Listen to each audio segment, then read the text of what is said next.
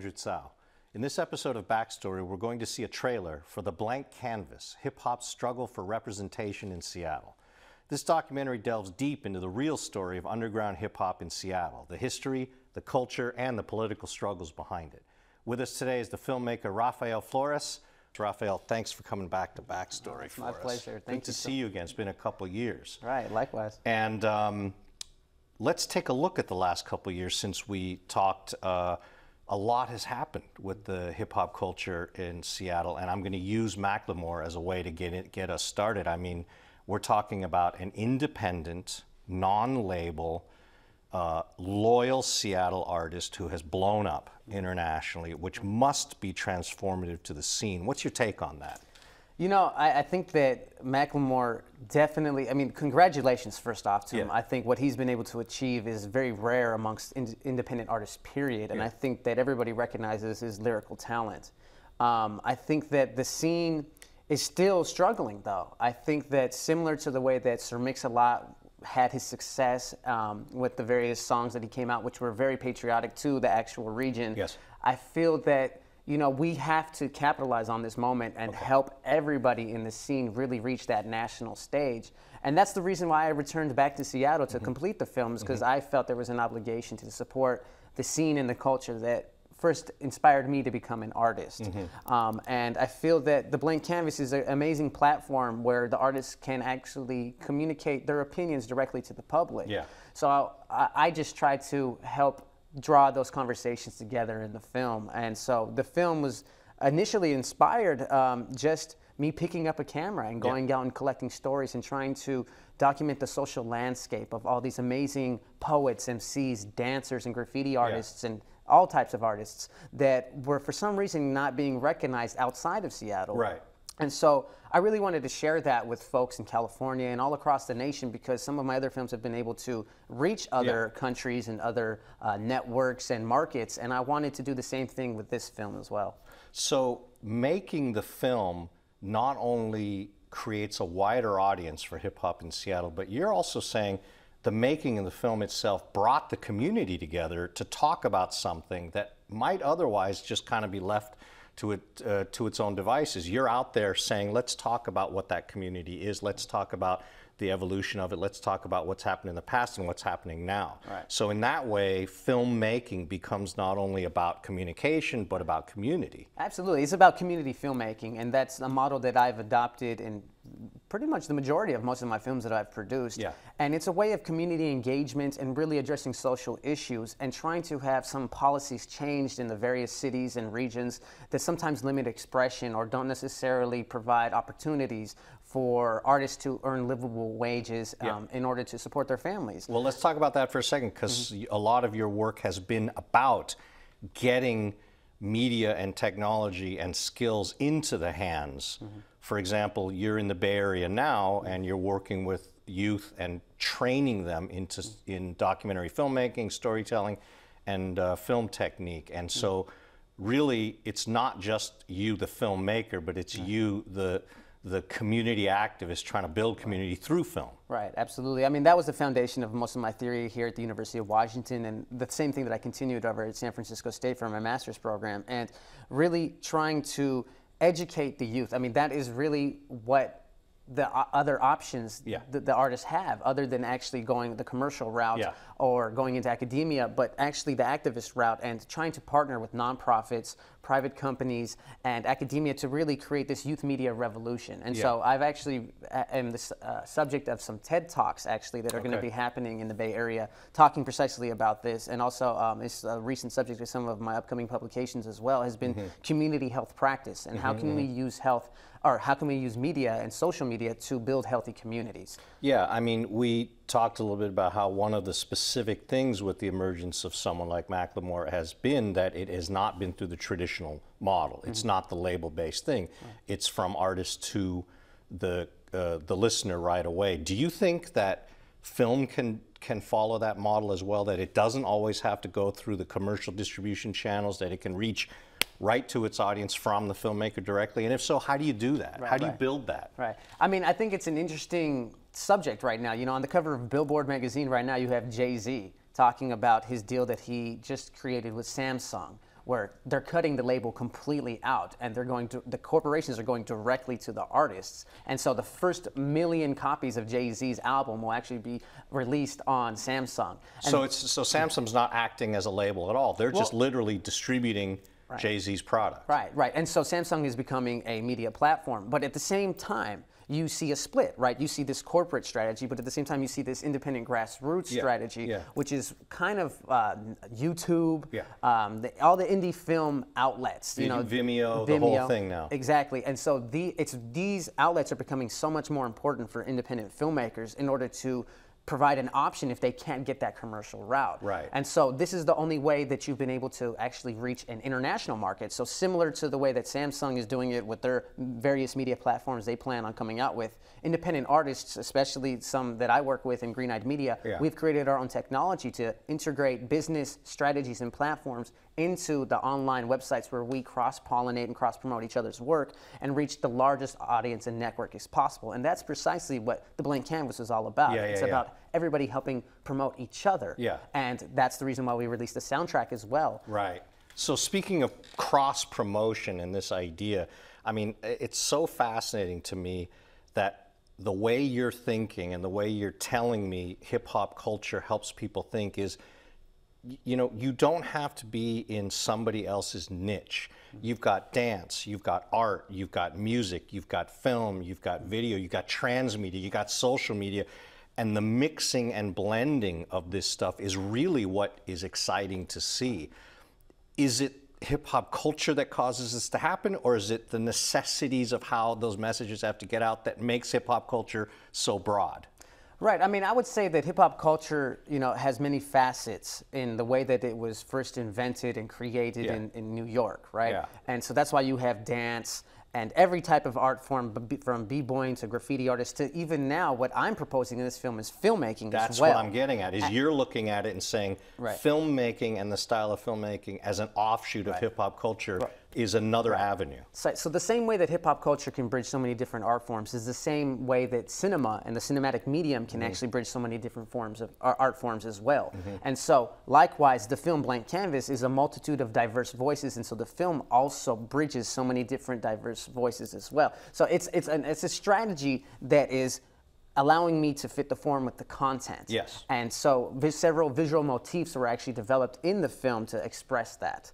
Can you talk about a couple of those? Yeah, Well, one thing I think is your mix of your mix of look, Mm-hmm. uh, your camera angles, and your cutting style. What else?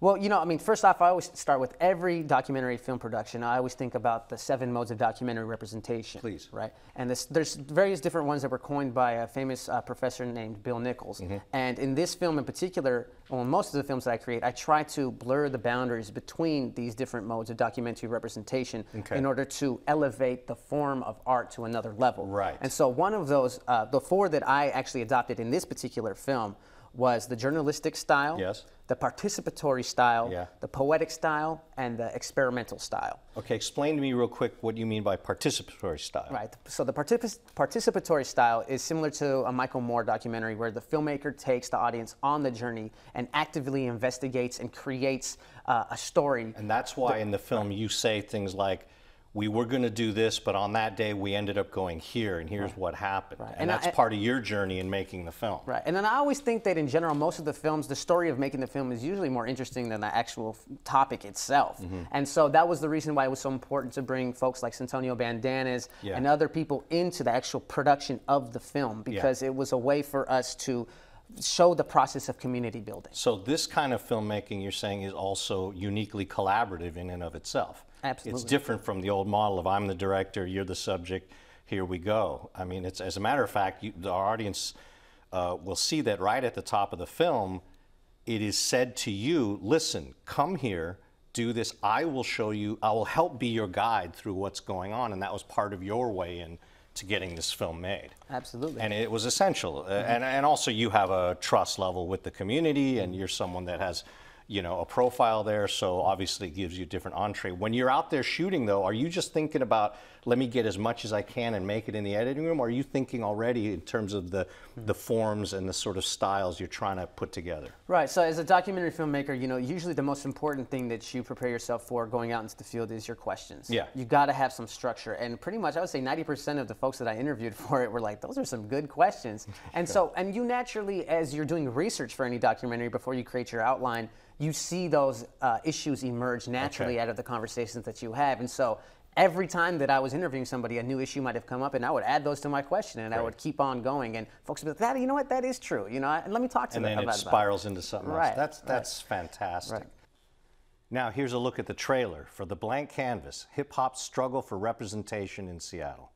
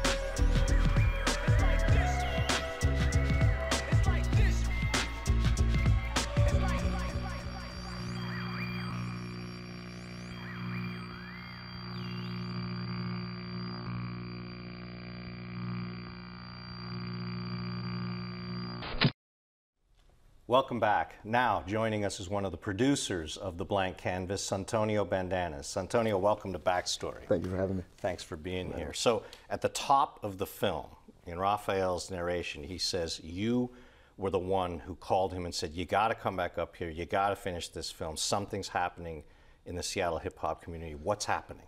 Well, you know, it's a microcosm of a macrocosm. You know, like there is always movement in the arts community, and as we were discussing earlier, you know, the imagination hmm. is what drives people and draws them into the arts and into all of the different ways that it can be utilized, both scholastically, uh, for community building, for just really giving people basic life skills to help them have a future or see a future or even realize that their voice matters. So, for my community that I come from since 1993, the Central District of Seattle on the South End, back in the Sunflower uh, Apartments and the 6002s, now called the Kingways, um, it's really all about making sure that there is some sort of documentation, Okay. some sort of uh, your voice does matter. You know, as as a you know the hip hop origi- origination story. You Yeah. know, you come from somebody that has nothing.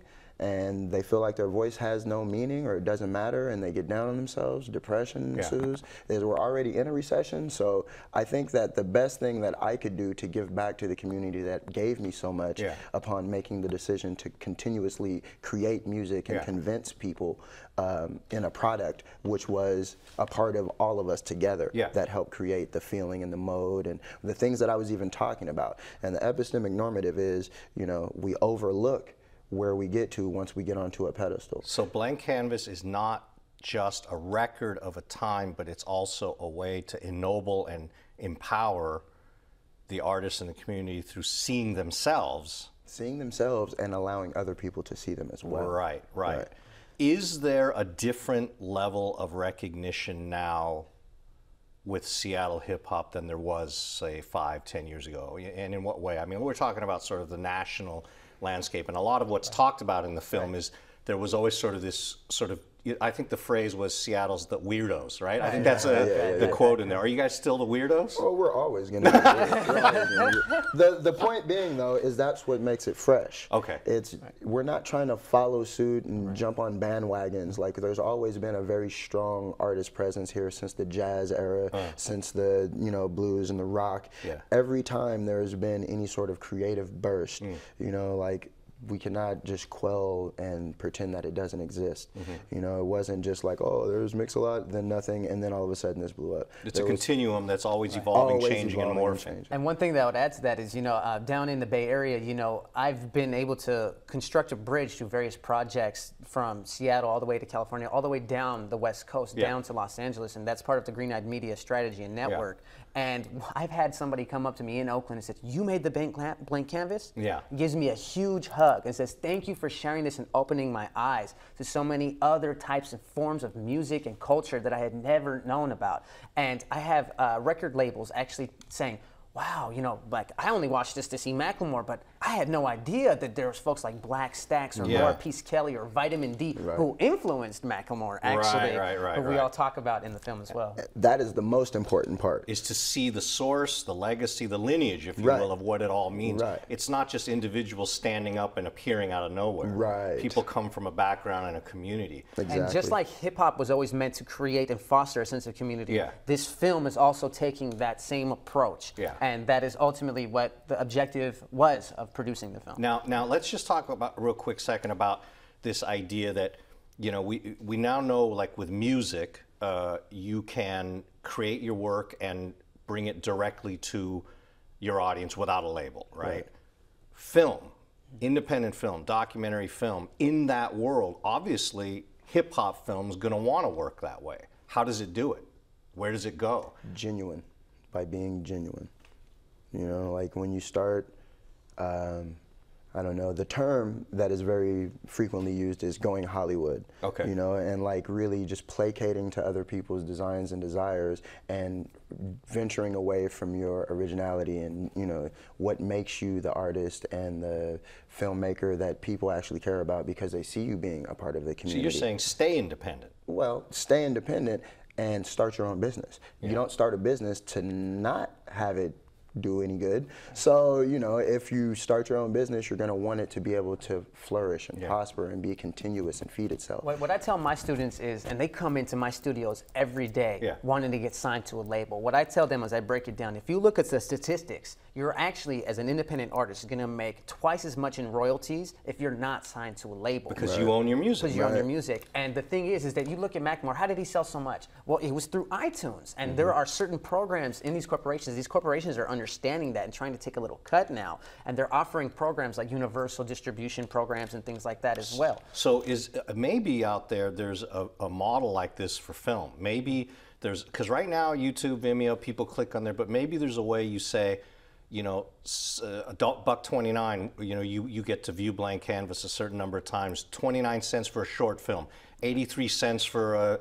You know, there's so that it's like that iTunes model, but more variable. That is a good suggestion. www.greeneyedmedia.com because that is the model and that's mm-hmm. what we've been doing for a long time now. You get your PayPal card, you can buy stream direct, you Yeah. can get a digital download or you can get a DVD and that is international. And I think that's going to be the, the way this works in terms of film. Well- you don't you don't go through the distributor. You go if someone likes it, they click on it, they got it. I mean, we know it worked with iTunes, right? Right, right. People thought that was crazy in the beginning. They were like, no one's going to download a song for 99 cents. Hello, Right. right? Yeah. So let's talk a little bit about how the musicians, the artists, the community, what you would say now to them to seize this moment. Right. What what would you wish to have happen now? With all these changes going on. I would wish that uh, I don't know. I guess personally, it would just be to have everybody supporting everybody. Okay. You know, like You when when you have something like a community business or mm-hmm. like a small mom and pop store, the thing that keeps it moving, that keeps it there in that community, in that neighborhood, the thing that keeps the neighborhood the neighborhood is everybody supporting everybody's business. Yeah. You scratch my back, I'll scratch yours. The back scratching has already ensued. I handed people back scratchers. I gave them phone calls and emails.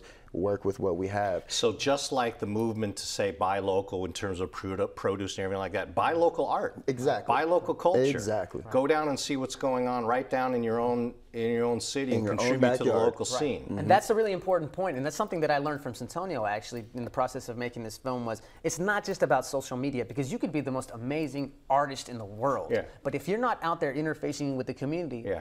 you're really nobody. Yeah. I hear you talking about a place, but where are Where you are you from? from?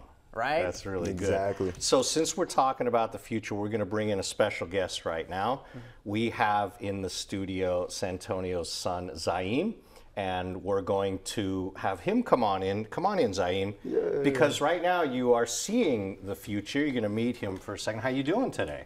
Good. Yeah. So, I don't know, Zaim. What do you say? What, what, Santonio? What do you say to Zaim about all this sense of buying back the community? How do you raise a son with this sensibility of being loyal to community, to to understanding the culture and embracing it and, and maintaining it? Well, I just try and bring him to like Zulu Nation shows, Okay. like all ages shows that really promote community building and youth empowerment through using the art forms as platforms. And again, it's just like the model of the filmmaking. That is the Zulu Nation model, like community in action. Yeah, yeah, yeah. Brings the brings the world together. I mean, when they thought they said it was a fad, Yeah, yeah. it changed the world. So, Zaim, what for you is your favorite thing about hip hop? I mostly like the break dancing. Okay. I do it myself. Yeah. Now, do you have? Uh, forgive me. What do they call it when everybody gets together to Ciphers. cipher? Do you go to ciphers? Yeah, Do, are, is everyone at the cipher your age, or are they all different ages? different mostly. And so, are you intimidated by the older kids, or no? You just go out there and work. And just go out there. That's pretty good attitude to have, I think. Right? It's great to have you, and it's great to meet you. This is just great to have all of you on this show. Thank you so much. And thank you for watching Backstory. I'm Andrew Tsao, and I'll see you again behind the scenes. Yeah, absolutely. Buy local, right?